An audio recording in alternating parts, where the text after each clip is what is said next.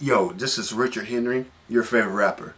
Don't just hate it when you go somewhere and spend good money to eat food and it just don't taste good, makes you sick, and everything like that. Then you try to complain to the customer service. They want to look at you all rude. They don't want to refund a brother's money back. Or the other day, I went to a Golden Corral and I ate some bad food. It made my stomach so upset that even my own stomach was giving me the silent treatment. And my stomach went on a hunger strike just to punish me.